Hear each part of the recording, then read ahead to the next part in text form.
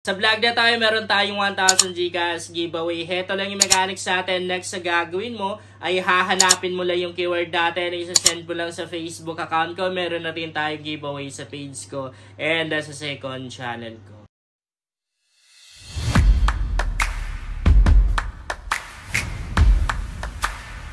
Hi guys! Welcome back to my YouTube channel. Sa vlog natin ngayon, eh, meron akong panibagong earning application na isi-share sa inyo. Libre lang talaga kumita dito guys. Libre lang talaga guys, kumita ng GCash money dito sa free earning application na to. Legit ito guys dahil marami na rin yung mga nakapag-cash out na dito. So, hindi na natin titingnan no, yung kanyang background or yung kanyang ratings, reviews, and the download sa Play Store para mabilis lang tayo. Pero alam niyo itong application na to guys, napakataas ng ratings niya sa Play Store. As you can see, nandito na tayo sa mismong homepage ng application application. By the way, nasa description box yung link tong application na to. Ulitin ko lang guys, libre lang kumita dito, hindi ito casino app. Hindi natin kailangan ng puhunan dito. Siguro ang magiging puhunan uh, lang natin dito ay syempre yung time and uh, effort. So, bago tayo pumunta or bago ko ide-demo sa inyo yung ways of earnings ng application na to, um, magla-live withdrawal muna tayo na. Mag-withdraw muna tayo para at least makita nyo na. Legit nga. So, para makapag-withdraw tayo, itap lang natin tong withdraw na to. Pagka-tap natin dyan, ito yung makikita natin guys. Siyempre, nandito yung mga amount ng Gcash money na pwede natin ma-withdraw pero loading pa. Mahina yung internet connection. Ayan, nandito na tayo. So, isa sa magpapatunay na talagang legit itong application na to ay yung kanilang minimum withdrawal. Pansinin nyo guys, yung mga scam na mga application, yung mga paasa na application, yung mga paasa na free earning application, napakataas ng kanilang minimum withdrawal. Kaya ang ending, matagal natin nare-reach yung kanilang uh, withdrawal or ano ba? Minimum withdrawal. Sorry guys, nawawala ako. So dito, piso lang talaga yung minimum withdrawal. Kaya, basic lang natin, easy lang natin marireach yan. Diba? Ibig sabihin, sure na makapag withdraw tayo sa application na to. Unlike sa iba na napakataas ang minimum withdrawal. Minsan nasa 5,000. Pagka ganun yung isang free earning application, medyo, medyo tagilid tayo doon or 50-50, no? So, ngayon, magla-live withdrawal tayo. So, pwede tayong mag-withdraw ng piso pero once only lang na. Isang beses lang tayong pwedeng mag-withdraw ng piso. Meaning, pag nag, na, uh, na, na-withdraw na natin or kapag nakapag-withdraw na tayo dito ng piso, ang magiging uh, minimum withdrawal na lang natin or pinakamalita pwede nating makash out or ma-withdraw ay 5 pesos. Okay.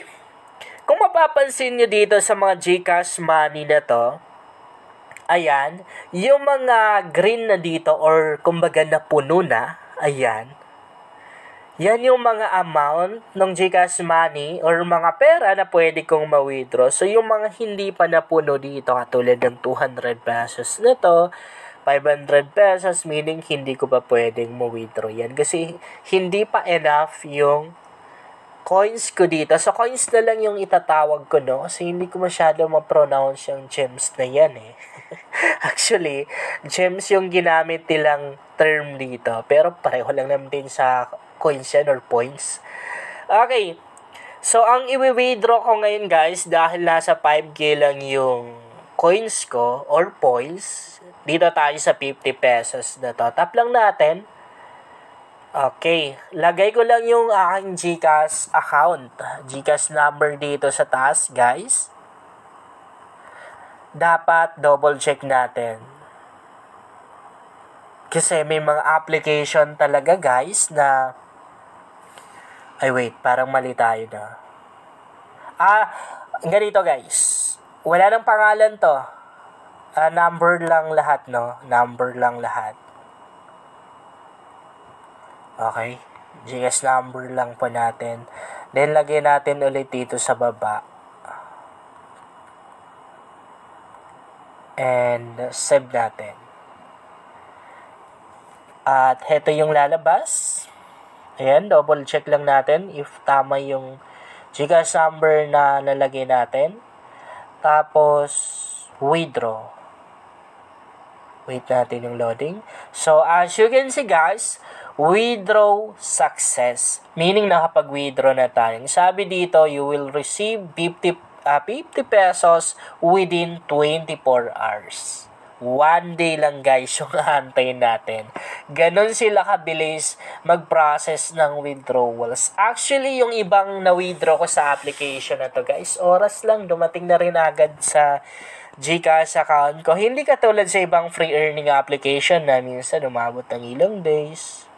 Ang worst mo, umabot siya ng ilang weeks eh, bago natin na-receive. So, yun po yung magpapatunay guys, na talagang legit ka, nakapag-withdraw dito sa application na to. So now, ide-demo ko naman sa inyo kung paano ba tayo maka-earn ng gems na yon or points. Paano ba tayo kikita? Unang ways of earnings dito or pinaka main ways of earnings dito, heto. Yan ah. Kung makikita niyo guys, puzzle yan. So, syempre, sasagutan lang natin yan. Madali lang naman siyang sagutan. Katulad nito. Di ba, hahanapin lang natin dito kung saan ba yung karugtong or kulang. So, I guess, eto, no? Eto. Yan. Oh, as you can see, tama ako.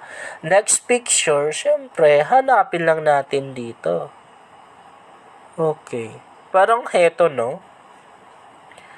Pero di ko sure, malay natin heto. Try natin to. Heto talaga, no? Ito. Oh, tama tayo. Ganyan lang naman guys, kadali yung lalaroin natin dito. And uh, kung gusto mo naman na mas mabilis makapag-withdraw or kumita ng mas malaki, then mag-refer ka. Pero optional lang naman to eh. Hindi yan required guys. Hindi required yung pag invite dito. Kung ayaw mong mag-invite, okay lang din.